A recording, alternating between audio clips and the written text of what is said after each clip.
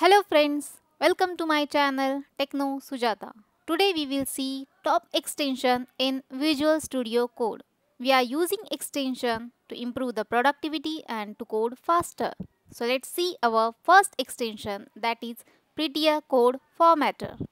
For downloading any code extension, just go to this extensions options. You can see the list of popular extensions here, installed one here and the recommended one.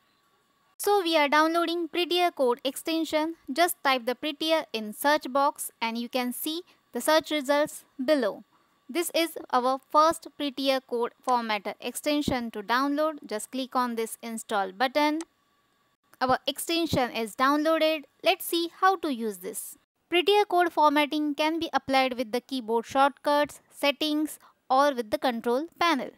First we'll do with the keyboard shortcuts. Just select the code and use Shift Alt F. Else just right click and use Format Document. Second way is to use Control Panel. Open Control Panel with the Control Shift P and write Format Document. Your document will get formatted. Third way is to use settings. Open settings panel with the control comma and just type prettier. In prettier, you can see a different customization option like arrow parens, bracket same line, bracket spacing, config path. If you want to apply some customizations in your project, you can use these options. For now, I'm not doing any changes in these options. If you want formatting to be done on save, just type in format on save and check this checkbox. Your settings will get applied on save. Let's jump to our next live server extension. It is used to launch local development server with the live reload feature for static and dynamic pages. Once it is installed, you can see a go live link at the bottom of Visual Studio Code.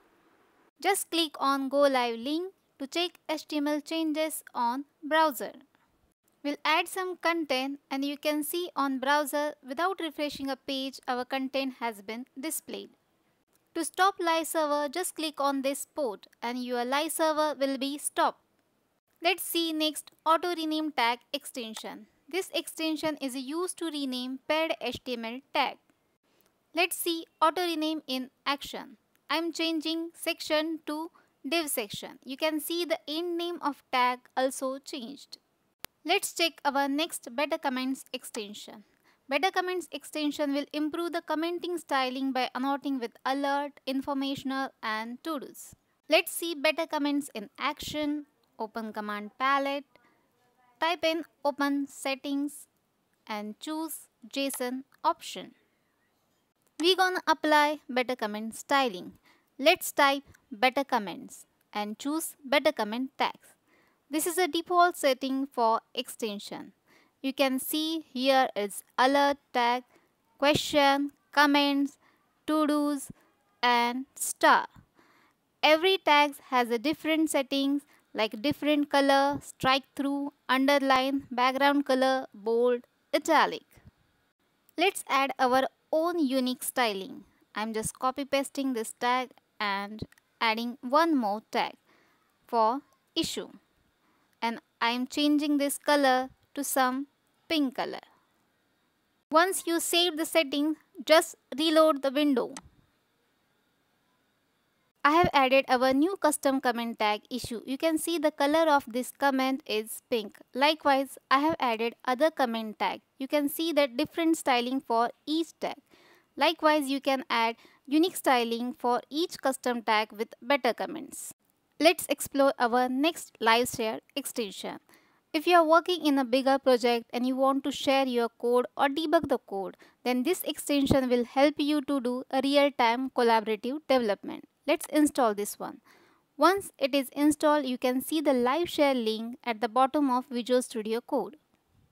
Once you click on live share link, you can see GitHub and Microsoft option. If you have any one account, you can choose this account.